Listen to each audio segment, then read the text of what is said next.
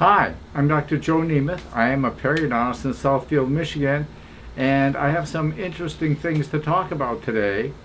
A staff member handed me her phone with a picture like this. This was a relative of hers who actually was told by his dentist that he thought he had leukemia and should see his doctors about leukemia. I actually have seen patients with leukemia whose tissues did look like that. Now, in my opinion, that picture, and you'll be able to see more of it, that picture is probably due to poor home care. If you look closely, you will see that there is debris around the teeth and it looks like the teeth just haven't been cleaned, floss hasn't been used, and that's probably the reason why that tissue is swollen, red, and enlarged.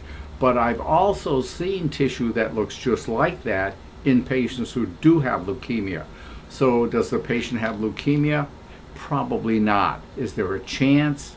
A chance. My estimate would be maybe a 2% chance that that patient has leukemia. But another reason that the patient might have leukemia is because that patient has been exposed to hazardous vapors. Hazardous vapors actually can contribute to various blood cancers, and leukemia, of course, is one of those. So, you know, maybe. But I think the first thing he should do is get his mouth cleaned, floss, get a good thorough cleaning, and then I would expect that tissue to go down and look relatively normal and the bleeding to stop. Of course, if it doesn't, then he really should get a checkup. But you know, we see a lot of a lot of diseases manifest in the mouth, in the oral cavity. Anemia, for instance. If one has anemia, very often the gums are very pale and kind of thin uh, because the blood supply is not normal. If we see a patient who's got very advanced gum disease, we very often will suspect diabetes. Even if the patient doesn't know it, we may suggest that that patient see a their physician because diabetes and gum disease are very closely related. If one has diabetes, you're much more likely to have severe gum disease. And severe gum disease is one of the factors that causes and can actually contribute to diabetes, of course, we see things like oral cancer in the mouth. Is that cancer a secondary uh, a lesion from a primary source? Well, we don't know. It's possible. Most of the time it's not.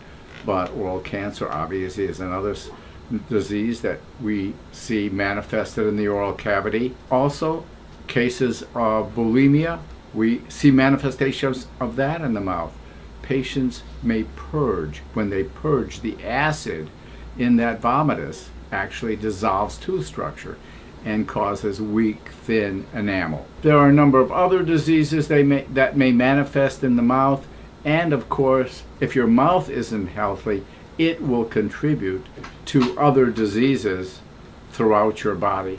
I can think of almost no systemic disease that isn't made worse, linked to, or affected by an unhealthy mouth. So just remember, keep your mouth healthy. It is more important than you may even realize. If your mouth is healthy, your body will definitely be healthier. We'd love to hear from you. Subscribe to our YouTube channel. Hey, have a great, great day.